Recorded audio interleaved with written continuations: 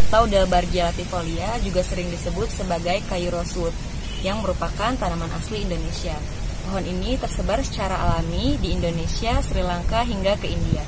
Pohon ini bisa mencapai tinggi 30 meter dengan diameter 1,2 meter dan dengan kelas awet kayu 1 dan kelas kuat kayu 2.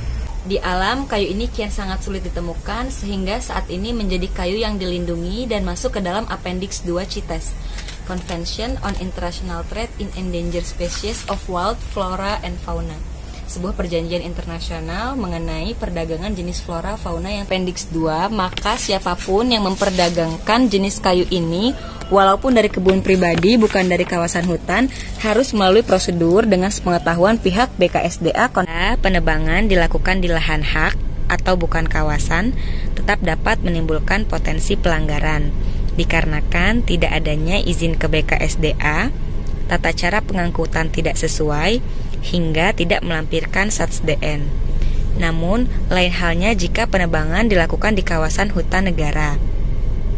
Semua pihak mulai dari penebang, pengangkut, pemodal, dan pembeli akan ditindak secara hukum yang berlaku.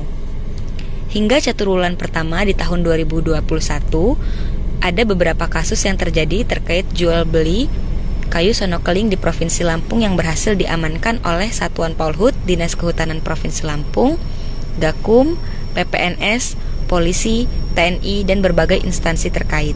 Ke depannya, Dinas Kehutanan Provinsi Lampung, Gakum, TNI, dan Polri sudah berkomitmen akan menindak lebih tegas lagi terkait pelanggaran illegal logging kayu sonokeling. Terkait dengan illegal logging dan maraknya pencurian kayu, ini banyak sekali, terutama di hutan lindung dan kawasan konservasi.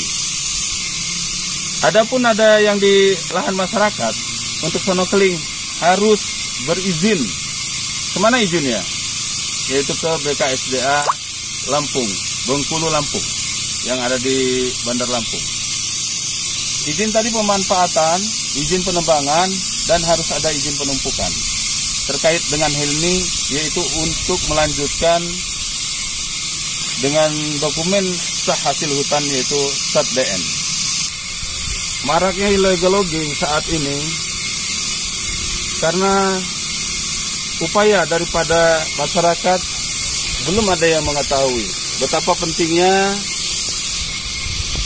pohon yang berada di lereng-lereng ini untuk kesejahteraan faktor lingkungan dan masyarakat sekitar. Dikhawatirkan kalau kayu-kayu sonokeling yang ada di lahan masyarakat sekalipun yang diambil, ini ternyata dengan kasus ini semua yang telah kami lakukan dari hasil lidik ini ada di lereng-lereng. Ini mengkhawatirkan sama sekali karena banyak faktor alam yang dirusak, terutama tumbuhan di sekitarnya banyak yang di setelah rubuh pohon ini mati. Kemudian di belakang hari kemungkinan terjadi abrasi daripada tanah yang tidak lagi ternaungi dari pohon-pohon sonokeling ini. Dan maraknya perburuan daripada orang-orang Sukong mengambil kayu sonokeling, mengambil galihnya. Ini contoh galih daripada sonokeling yang memang termasuk dalam kayu indah. Untuk KPH, wilayah Lampung Barat, potensi kayu sonokeling mungkin sudah hampir punah, maka agar dipergiat untuk pemantauannya, bahkan peredaran hasil hutannya. Terima kasih.